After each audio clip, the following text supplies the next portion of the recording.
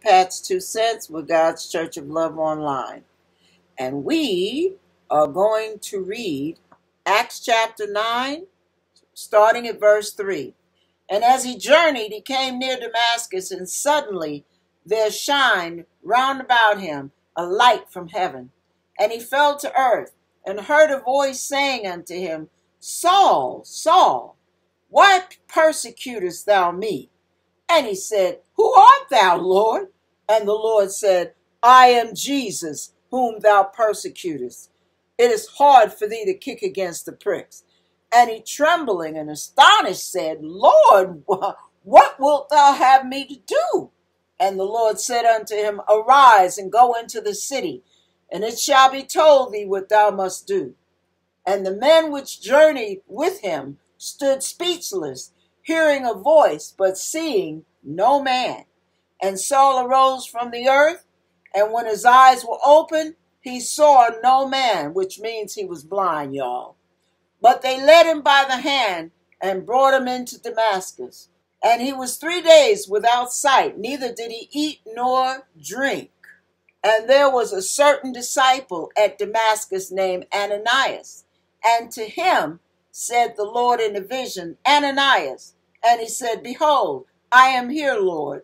And the Lord said unto him, Arise and go into the street which is called Straight, and inquire in the house of Judas for one called Saul of Tarsus. For behold, he prayeth, and has seen in a vision a man named Ananias coming in and putting his hands on him that he might receive a sight.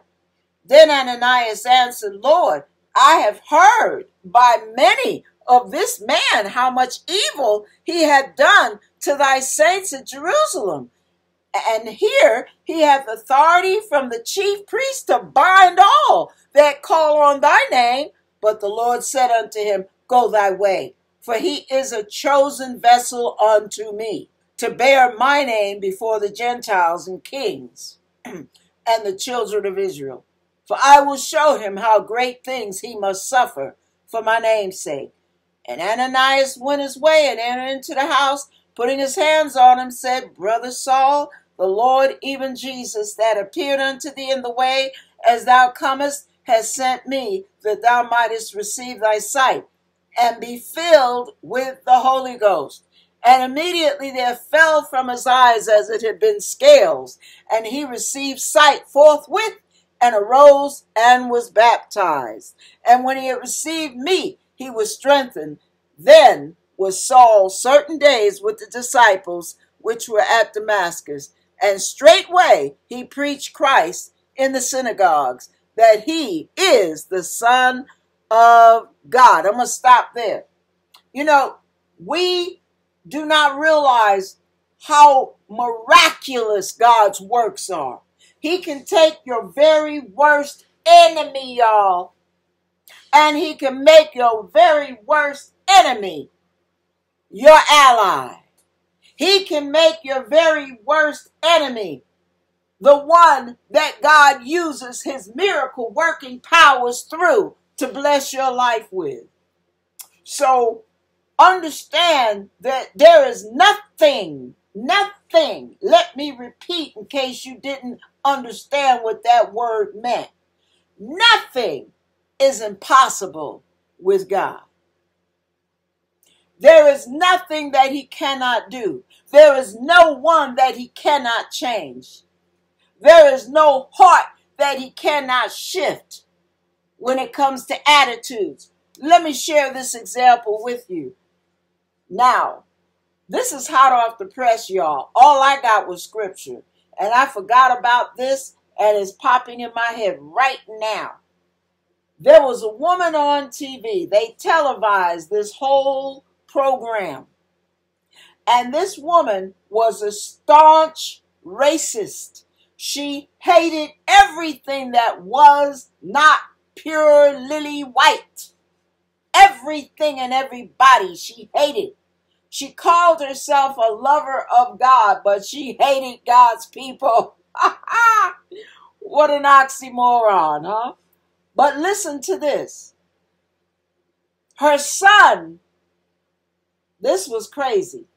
her son came on the show and rebuked her publicly for having so much bitter racial disdain for all of the people on the planet that happened not to be white.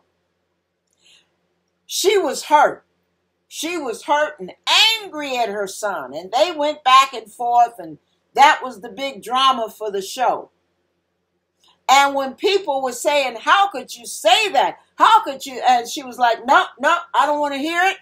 I know the only people of God are whites, and that's it. And I mean, the show, they said, well, we got to end the show. We're running out of time. And then before the show was over, because it was televised as a recording, they left room at the end for the big surprise. The woman left the TV set, got in her car, didn't say a word to her son, drove off, and on her road to wherever she was heading, God spoke to her audibly and said, I make all people equal.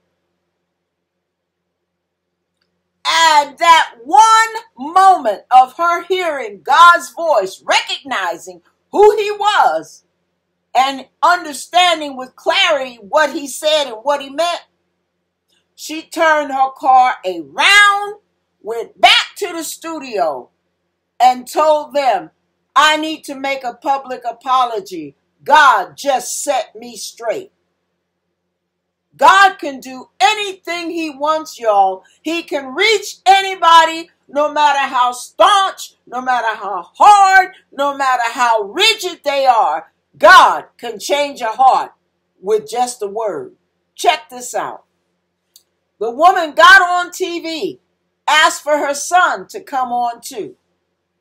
She publicly made an apology and said, I'm letting all of my fellow, I don't know if they were Aryan nation or what, but she said, I'm letting all my fellow believers understand what God just said. And I'm saying this publicly. Hopefully, it'll be enough for you. It was enough for me. And she said, God said, I made all men equal. And I have no right to be prejudiced against anybody. I have no right to hate anyone. And I ask all of you to forgive me. She was so humble. Her whole attitude, her whole demeanor was tender, was humble, was contrite, was sweet. She was she had what you call godly sorrow. Now some of you who aren't experiencing the miracles of God working in your life, some of it is because you really don't have godly sorrow. You have regret. It's a big difference. But it's only godly sorrow that works repentance. Some of why some of us don't get the victory is because we don't have godly sorrow. We only have regret. And the whole time we're regretting and trying to walk away, we're looking back rather than looking forward. And what did God tell Lot's wife? Don't look back. And she looked back, longing for what was behind her, and God turned her into a pillar of salt. Moving right along to some more miracles. I just had to throw that in. That was what you call a parenthetical. That was an aside. All right. Now, we're going to Acts chapter 12. I had totally forgotten about that story, y'all. I saw that program way back, maybe 25 years ago. Can't even tell you what the show was, but I saw it. And that was beautiful to see her let the world know. Wow. That's beautiful. Okay, Acts chapter 12. Go with me there. See, these are the miracles that God is able to do. And sometimes, as the Bible says, faith comes by hearing, and hearing by the word of God.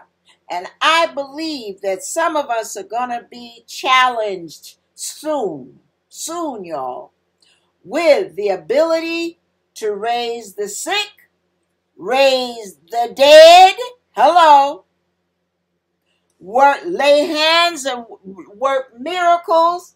And the Bible says, covet the best gifts. So if you don't have the gift, ask God for it. Ask God to include you in that number of people that can see miracles happen in other people's lives at your hand and at your word. That God would use you as a chosen vessel to work miracles in other people's lives. There's no harm in asking for that. Because as long as you're using the gifts that God has already given you, what did Jesus say? If you're already using those talents, He'll add more talents to you. But if you bury your talent, He'll take that from you and give it to someone else who's using theirs. That's in everyday language. Now let's go to, we're at Acts chapter 12. Peter was put in prison. Not our Peter, you know, our Peter's online listening. But Peter in the Bible, in the New Testament, was put in prison. And he was put in prison, of course, for his testimony to Christ. As a result, I'm going to start in verse 3. And because he saw it pleased the Jews, he proceeded further to take Peter also. And these were the days of unleavened bread. Verse 4 And when he had apprehended him, he put him in prison and delivered him to the four court, the four quaternions of quaternions of soldiers to keep him, intended after Easter to bring him forth to the people. Peter therefore was kept in prison, but prayer was made without ceasing of the church unto God for him. And when Herod would have brought him forth the same night, Peter was sleeping between two soldiers, bound with two chains. And the keepers before the door kept the prison. Boy, they had him on total lockdown, y'all. Verse 7 And behold, the angel of the Lord came upon him, and a light shone in the prison. And he smote Peter on the side. In other words, he tapped him and raised him up, saying, Arise up quickly. And his chains fell off. The angel did not need a key. You hear me? the power of God is the key. So the chains fell off from his hands. And the angel said unto him, Gird thyself and bind up thy sandals. And so he did. And he said unto him, Cast thy garments about thee and follow me. In other words, get dressed. We're getting out of here. And he went out and followed him and knew not, or wist not, that's what the Bible says, knew not that it was true which was done by the angel, but thought he saw a vision. Then, when they were past the first and second ward, they came unto the iron gate that leadeth unto the city, which opened to them of his own accord. In other words, the gate just opened up all by itself, right? By the power of God. And they went out and passed on through one street, and forthwith the angel departed from him. And when Peter was come to himself, he said, Now I know of a surety that the Lord has sent his angel and hath delivered me out of the hand of Herod from all the expectation of the people of the Jews. Wow. And when he had considered the thing, he came to the house of Mary, the mother of John, whose surname was Mark, where many were gathered together praying. Now, Peter knocks on the door. A damsel comes to the door. She's so excited when she sees it's Peter. She runs back to tell the group Peter's at the door, but she didn't let Peter in. So Peter's still knocking, and they think she's talking off the top of her head till they see him for themselves. And Peter's standing there, and they're they're so elated. Can you imagine what that must feel like to see that kind of a miracle? You know that one of your brothers or sisters are incarcerated.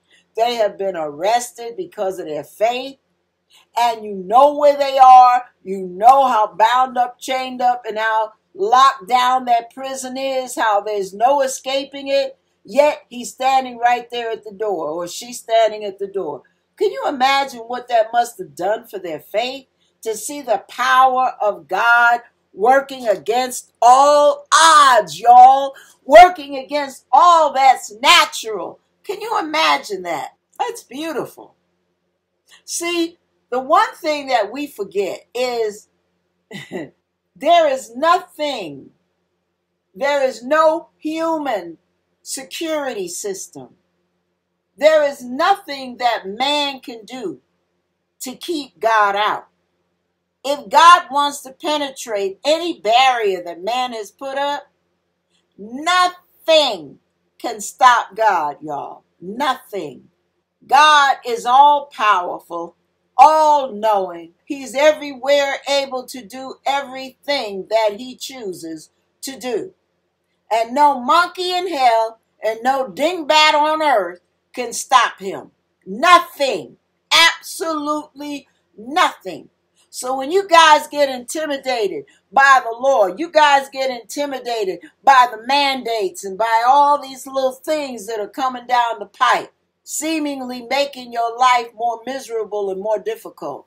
You remember who your God is. Don't forget that God is able to do exceedingly abundantly above all that you can ask or think according to the power that works in us. Now, my question is what power is working in you? When you're out there dealing with these hard headed knuckleheads, are you sitting there trembling like the leaves of the tree in the wind for fear? Are you full of trepidation and intimidation? Are you, is your cage rattled because of all the chaos that's going on around you? Why? Why is that going on with you? Don't you know who your God is? God is the joy and the strength of my life. He moves all pain, misery, and strife. He promised to keep me, never to leave me. He never, never falls short of his word. I've got to fast and pray, stay in the narrow way. I keep my life clean every day. I want to be with him when he comes back. I've come too far and I'll never turn back. God is. God is. Mm, mm, mm. Don't forget who God is, y'all. Don't forget. Because God is able. There is nothing impossible to God. All things are possible with Him. Amen. All right, let's go to Acts chapter 3. Because sometimes we forget who God is. We get so caught up looking at all these dingbats on this planet, all the folks we got to deal with, all the Satan's little messengers and imps in human form that we have to deal with on a daily basis. And we tend to lose sight. See, this is what happens. All right, let me share this real quick. Hold your hand in front of your face. Just do this for me. Humor me on this one. Humor this old broad, okay? Hold your hand in front of your face. All right. Hold it far away from you. Now, this, what you're looking at, is your problem, your challenge, your obstacle, the the idiot that's on on your job or at your church or in your house sharing the walls that you share that drive you up the wall, that rattle your cage at every given moment, that's your problem. That's your worry. That's your concern. This is your circumstance that's got you on edge. I want you to take that, look at the room around you. You can see the room. Everything's fine in the room. Nothing is out of place. I'm not talking about your housekeeping skills. I mean, no tornado has come and knocked down a wall or bust down your, your roof. Everything is fine in your house. Take your hand and move it close, closer, slowly, closer, closer, and closer until it's touching your nose. All right? See how well you can see what's in front of you. It hinders your vision, doesn't it? Double the problem, put both hands and hold them close to your face till they're touching your nose. They're right up against each other. That's a big problem. Now you're in crisis mode. It's a crisis. And you're touching your nose with it. And focus on the hand and tell me how much of the room and, behind it can you see. You can go outside and do it where the sky is blue and the birds are flying and the sun is shining and you do the same thing. You can't even enjoy the view. Why can't you enjoy the view? Because you're focused on the problem. You have magnified the problem, and it's so big to you that it's like trying to fight a Goliath with a stick of chewing gum. But you forget, you're not fighting him with chewing gum, baby. The battle is the Lord's, not yours. So you get up off of that Humpty Dumpty way of thinking and remember who God is. Now, let's read. Okay, I hope you did the exercise with me. Here we go. Verse 1. Now Peter and John went up together into the temple of the hour of prayer, being the ninth hour, and a certain man lame from his mother's womb, lame, he was born lame, y'all. Mm-hmm. Which means the muscles have completely atrophied so that those limbs are useless. A certain man, lame from his mother's womb, was carried, whom they laid daily at the gate of the temple, which is called Beautiful, to ask alms of them that entered into the temple. Who, seeing Peter and John about to go into the temple, asked an alms. And Peter fastened his eyes upon him with John, said, Look on us. And he, giving heed unto them, expecting to receive something of them. Then Peter said, Silver and gold have I none, but such as I have give I thee. In the name of Jesus Christ of Nazareth, rise up and walk. And he took him by the right hand and lifted him up, and immediately, not the next week, not the next month, immediately, his feet and ankles, his feet and ankle bones received strength that means all of a sudden muscle was there where there was none. And he, leaping up, stood and walked and entered with them into the temple, walking and leaping and praising God. And all the people saw him walking and praising God. And they knew that it was he which sat for alms at the beautiful gate of the temple. And they were filled with wonder and amazement at that which had happened unto him. Ha! And as the lame man which was healed held Peter and John, all the people ran together unto them on the porch that is called Solomon's, greatly wondering. And of course, Peter set them straight and let them know, you know, this is the power of God. So the thing that we forget is we have this power in us. The same Holy Ghost that worked through them still works through us. How many of us have laid hands on someone recently expecting a miracle? How many of us have walked through the grocery store, saw somebody walking with a cane or in a wheelchair or blind, crippled, lame, whatever, and had the boldness to walk up to them and say, Would you like God to heal you? When was the last time you did that? When was the last time I did it? I'm challenging all of us. I'm not just preaching to you, I'm preaching to me too. Because I believe what God is saying now is it's time for us to break out of our comfort zones. It's time for us to get up off of our do nothings and do something for the kingdom.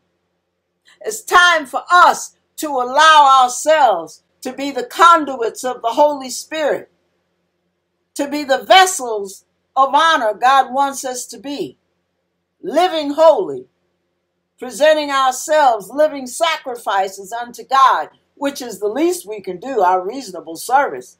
But so that we can be used by God mightily.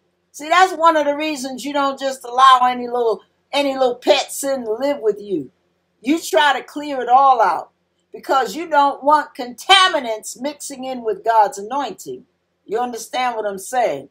A surgeon does not go from the nightclub the night before having sex with Mary, Jane, and Sue, or Tom, Dick, and Harry, depending on what their gender is, and come into the surgical room without washing, without having the right garments on. Uh huh. We call them garments of righteousness they call them the garments of a surgeon, going in to do surgery, a life saving surgery on a person, unclean, unsanitized, using dirty instruments. No way. Why do we think we can do that with God? Why?